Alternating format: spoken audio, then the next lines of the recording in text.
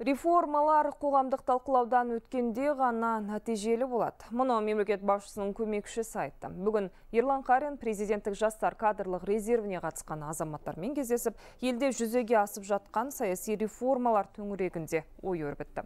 Жиында жолдауда айтылған мәселелер де сөз болды. Реформа бір жақты биліктің өздігінен қабылдаумен жүзеге асса, онда қоғам оның кейбір сәттерін түсінбейтіні рас. Сондықтан мемлекеттік реформаны билік пен қоғам бірлесіп қабылдағаны жөн деді Ерлан Қарин.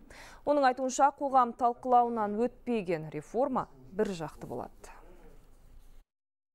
Президенттік бағдарламаға қатысушылар елімізде болып жатқан реформалардың мазмұны мен бағытын да оларды толық ұғынулары тиіс себебі ертең осы жаңа толқын басшылар осы реформа жүзеге асырушылар да сол реформа жүзеге асыруға қатысатын да осы сондықтан әрине бұл реформа жүзеге асыруға қатысқаннан кейін қатысатын болғандықтан кейін олар бұл реформалардың мақсатын бұл реформалардың мазмұнын бұл реформалар іске асыру жолдарын да түсіну керек. Сондықтан бүгін біз мысалға мен өз бағытым бойынша саяси реформалардың жүзеге асып жатқанын баяндадым.